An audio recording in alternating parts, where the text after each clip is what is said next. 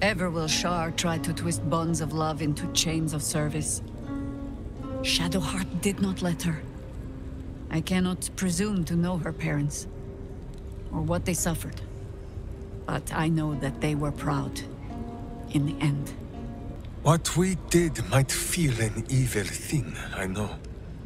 But if Minsc was not saved from the cult, was used to hurt those who only meant to help him, I think that ending Minsc might have been a way of saving Minsc too.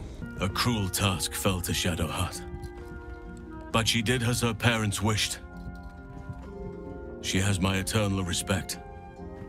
And I hope she soon finds peace. Killing one's parents can be an important rite of passage. A usurpation of their place in society. Shadowheart may not have gained status from her parents' death, but she has freed herself from Shar's influence. There is comfort in that. Shadowheart's memories will be a heavy load for her to carry. But her suffering is over, and so is her parents'. I hope she finds comfort in that. It is no small thing to slay one's life-bringers. Shadowheart did what was right, not what was easy. I'm so glad Shadowheart's ordeal is over. It'll be a long time before she'll come to terms with all this. But at least now, she can start. Free of Shar.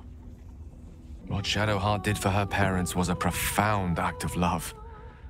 Her courage is...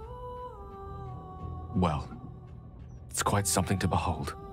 Shadowheart's parents are at peace. And so she, it seems.